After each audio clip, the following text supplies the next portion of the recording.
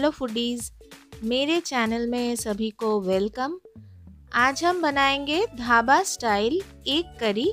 बहुत ही इजी तरीके से हम इसको बनाएँगे, जो आप भी खुद बना पाएँगे। अगर आज की रेसिपी आपको अच्छी लगती है तो प्लीज़ मेरे चैनल को सब्सक्राइब करें और बेल आइकन को दबाना ना भूलें। तो चलिए, देर ना करके शुरू करते हैं आज की रेसिपी। तो चलिए देख लेते हैं। तो मैंने यहाँ पे सात अंडे को हार्ड बॉईल कर लिया है। जिनमें से पाँच अंडे को हम फ्रीक करेंगे टूथपिक के मदद से, ताकि मसाला अंदर तक अच्छे से जा पाए।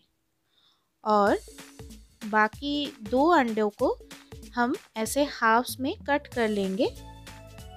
और उसके बाद ये जो एग यॉक्स यानी कि येलो पोर्शन है, वो अलग कर देंगे एग वाइट से।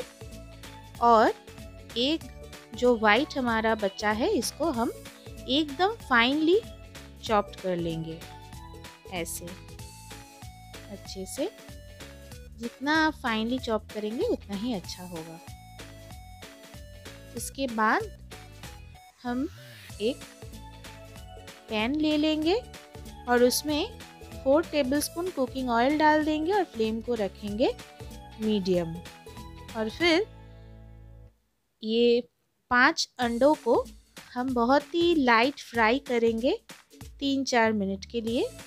बस हल्का सा ब्राउन क्रंच आए ताकि एग्स और भी टेस्टी लगे। और इसको हम अलग से निकाल लेंगे बोल में। उसके बाद सेम ऑयल में ही एक तेजपत्ता मैंने इसे तोड़ के डाल ली है और फ्लेम को हम कर देंगे लो मीडियम और डाल देंगे दो सूखी मिर्च और हाफ़ टी स्पून खरे जीरा। और उसको हम फ्यू सेकेंड्स के लिए अच्छे से भून लेंगे। और उसके बाद डाल देंगे दो मीडियम साइज़ ऑनियन को मैंने प्यूरी बना लिया है मिक्सी में। वो हम डाल देंगे और इसको ब्राउन होने तक हम भूनेंगे। देखिए, ये अच्छे से इसका कलर चेंज हो चुका है। उसके बाद डाल देंगे जिंजर गार्लिक चिली पेस्ट। इसमें हम आधा इंच अदरक, आठ लहसुन की कलिया और दो हरी मिर्च को पीस लिया है मिक्सी में। तो इसका कच्चे स्मेल जाने तक अच्छे से इसका भी भुनाई कर लेंगे। और इसके बाद डाल देंगे दो मीडियम। टमाटर का भी मैंने प्यूरी बनाई है मिक्सी में, वो भी हम डाल देंगे। और इसको भी तीन चार मिनट के लिए हम भून लेंगे। और इसके बाद डाल देंगे एक टीस्पून हल्दी powder, one and half teaspoon Kashmiri मिर्च पाउडर और एक टीस्पून धनिया पाउडर। और अच्छे से इसको मिक्स कर लेंगे मसाले के साथ। और इसके बाद हम डाल देंगे नमक। आपके स्वाद अनुसार आप डालिए, इसको भी मिला दें।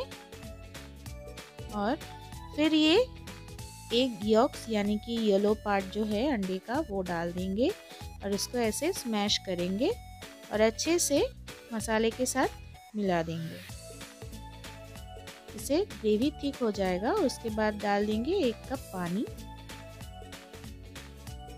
और इसको भी मिला देंगे। और फिर ढक के हम इसको पकाएँगे आठ से दस मिनट के लिए। और आठ से दस मिनट बाद फिर इसको एक बार चला लेंगे। फिर ये अंडे जो है वो हम डाल देंगे। ग्रेवी के अंदर। और साथ साथ डाल देंगे ये जो एक वाइट्स मैंने महीन कट कर लिया है, वो उसको भी मिला देंगे। और फिर डाल देंगे हाफ़ टी स्पून गरम मसाला पाउडर और इसको भी अच्छे से ग्रेवी में मिला देंगे। और फिर डाल देंगे क्रश किया हुआ कसौरी मेथी। एक टेबल स्पून एक बहुत अच्छा खुशबू आएगी, बिल्कुल ढाबा जैसी, इसको भी मिला दें। और एक टेबल स्पून चॉप धनिया पत्ता भी हम डाल देंगे। और फिर इसको भी मिला देंगे। और मिला देने के बाद इसको भी ढक के मीडियम फ्लेम पे पाँच मिनट के लिए पकाएँगे। फिर पाँच मिनट बाद